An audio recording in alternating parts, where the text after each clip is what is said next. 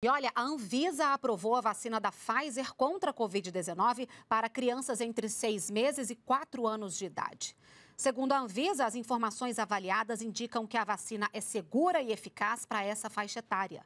As duas doses iniciais devem ser administradas com três semanas de intervalo, seguidas por uma terceira dose após pelo menos oito semanas. De acordo com o Ministério da Saúde, o Brasil tem contrato com a Pfizer para o fornecimento de todas as vacinas aprovadas pela Anvisa e incluídas no Plano Nacional de Operacionalização da Vacinação contra a Covid-19.